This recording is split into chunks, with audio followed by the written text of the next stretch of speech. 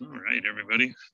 Still working on these uh, Algebra 2 problems on complex numbers.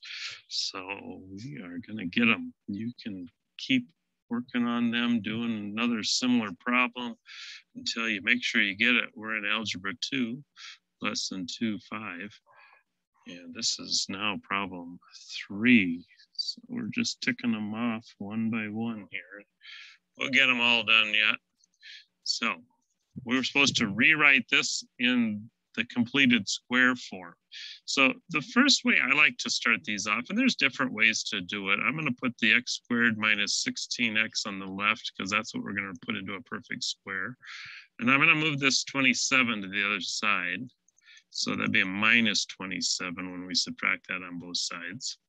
Some people write that like this, you know, I just drew the arrows to show that I'm doing it. I think you've done enough of those by now. You should probably understand how that's working.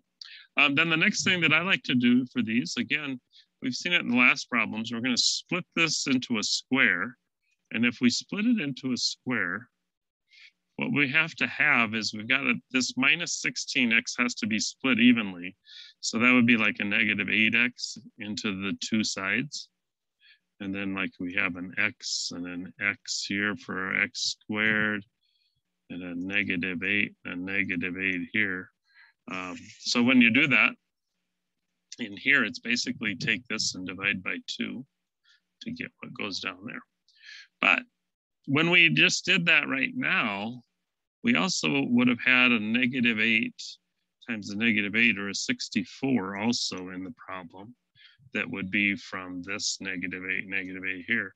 So because of that, we've also have to uh, make sure we do the same thing to both sides. So by writing it in this form, we've got a plus 64 that wasn't there.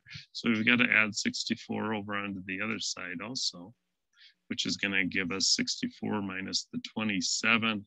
I don't know, I'm thinking that's like 37 if I'm if I'm looking at that correctly.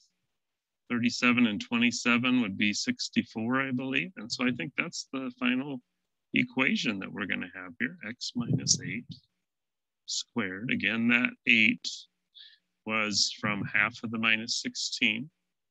And then I had moved the 27 over here. And this 8 squared, 64, I have to add on to the negative 27, which gives me a 37. So let's put that in, see if that's what it's looking for here. I feel pretty good about that, that that's what it's after, x minus 8. Shift 6 for a and a squared up there. Arrow, to the right to get out of the exponent equals and a 37. And let's see if that's if it likes it. Fantastic. That's all we're doing here. Remember, if you get stuck, you got the view and example. Help me solve this on the bottom. Get more help. Um, I don't find all that much use in the get more help, but and if you get it when you get it done, similar question. If you're not sure that you really are doing it right yet, you can practice until you make sure you are. Ded dedication, discipline, determination. Once you've uh, set your mind to it, you can do anything. Don't forget you could use uh, YouTube. Go find your own videos to help you understand these concepts. There's a ton of them out there. Anyway, stick with it. You got this.